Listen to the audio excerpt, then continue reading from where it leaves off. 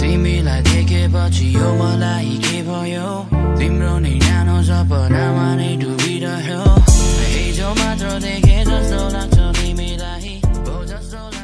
Vladimir.